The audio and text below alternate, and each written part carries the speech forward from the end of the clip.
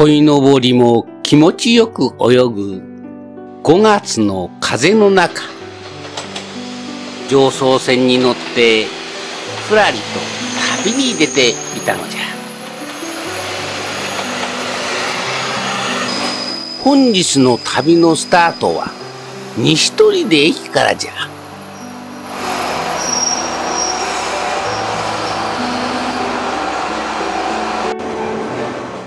回の旅人はこの人じゃ。初出演じゃのう。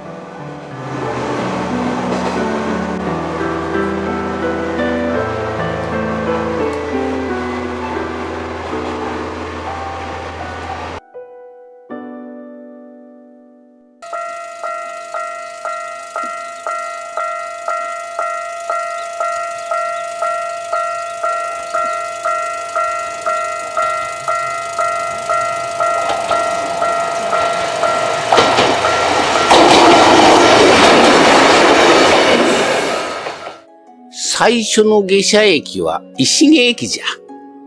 ここにはお城らしきものがあるそうじゃ。それでは行ってみるか。この城は模擬天守閣で、本当の豊田城は小海川の底になっているそうじゃ。旅人も見上げているようじゃが、高さは40メートルほどということじゃ。この模擬天守閣、正確には石毛町地域交流センターという施設なんじゃ。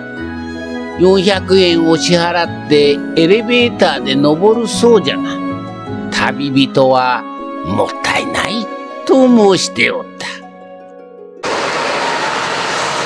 石毛を後にしてまたふらっと行ってみましょうかね。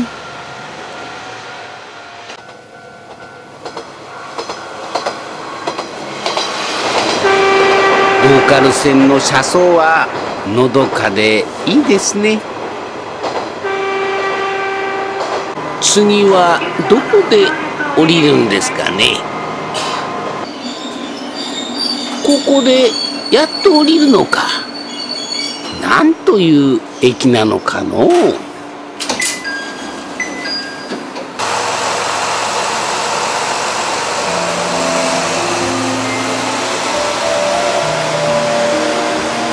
駅から歩いて3キロほどのところにお目当てのスポットがあるそうじゃの。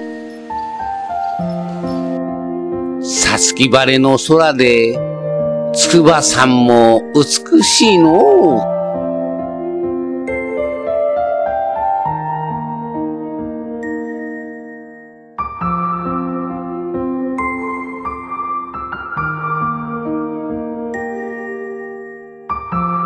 本当に綺麗じゃのいやいやいや、花のことじゃ。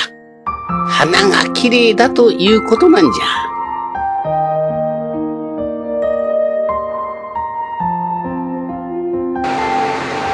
さて上層線に乗って次へ向かうことにしようかの。一日フリー切符でぶらりとするのもいいもんじゃの。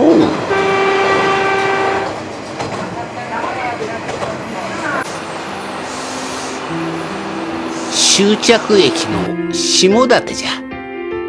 ここから歩いて10分ほどの板や破山記念館にでも行ってみようかの。うんもうあそこが破山の記念館じゃの。板屋破山記念館とはどういうところか教えてくれんかの。それではご説明いたしましょう。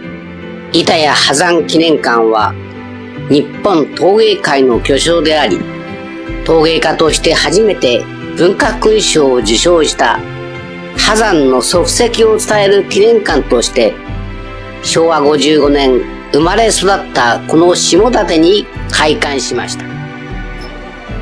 なるほど。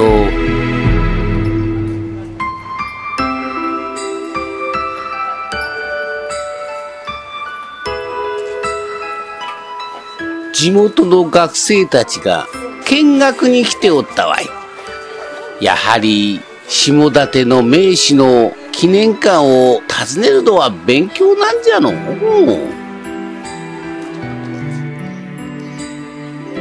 旅人もパンフレットを見ながら勉強しておるようじゃのこ